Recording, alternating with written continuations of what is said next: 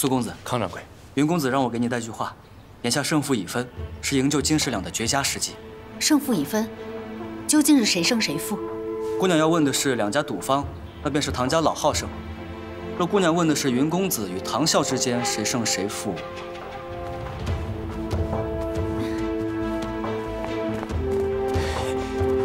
恭喜恭喜唐公子，连胜方封盘了。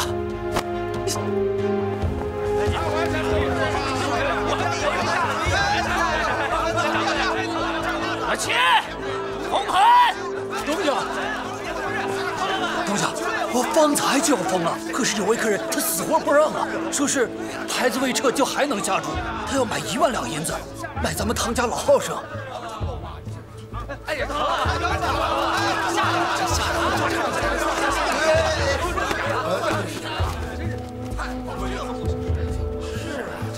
这位客人已经封盘了，想玩玩的别的去。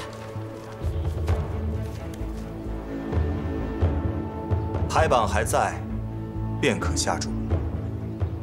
此为规矩。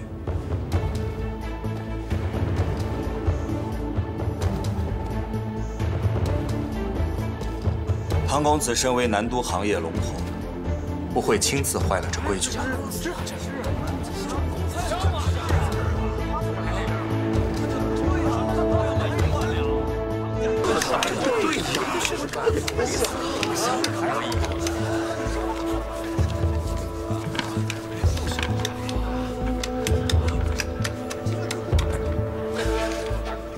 押一赔四，赌赌赌单十五张，共计二千二百两，需赔八千八百两。押一赔五，赌单十七张，共计三千零五十两，需需赔。说个总数。那可不行！哎，结算完于老板的，也该结我们的了吧？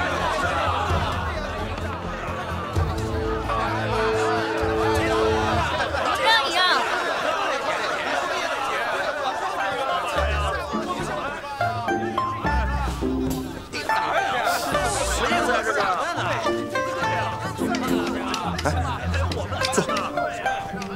来，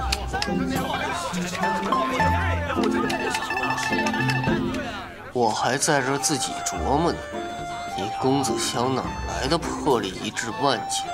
弄半天身后这么大家业城池。唐公子所言差矣，在商言商。云公子找我们广汇庄借钱，那是我们广汇庄的本分。再说，开赌坊做生意，您还挑银子是从谁兜里出来的不成？算完了吗？下下注共一万七千七百两，需需需赔七万五千三百两。薛掌柜，你好像算漏了一笔啊。在封盘前，我又下注一万两，押一赔七，总共应该赔偿我十四万五千三百两。那时候已经封盘了。愿赌服输赔钱而已。唐公子何须因此而失了气度？就是，自己开的盘还不认，还行业龙头，是不是？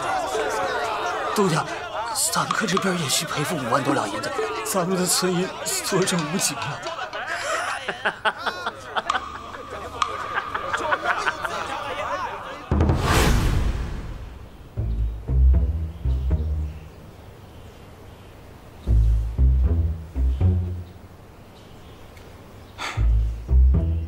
大家既然是同行，留些余地也无妨。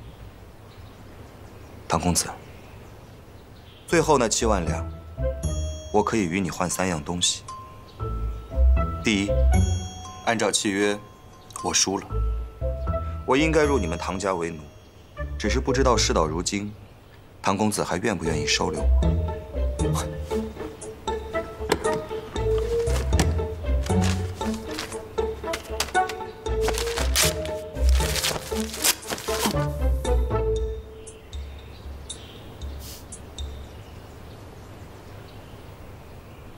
好。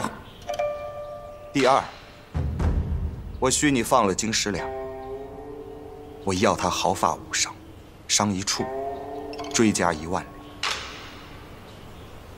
放人可以钱是真赔不起。好。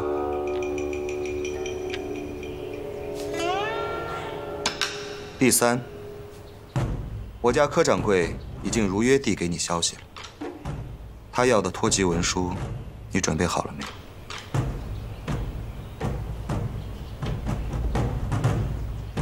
成。还有失心散的解药，给天狐解毒。男人说话你插什么嘴？不是说好三件吗？如何又带出一件？你拒绝也无妨，我便带着外面那群人，去你的后院地窖看看，看看南都久负盛名的唐公子，都有些什么不要脸的嗜好。